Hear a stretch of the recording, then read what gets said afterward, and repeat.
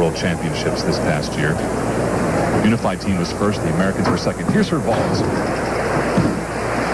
And the difference in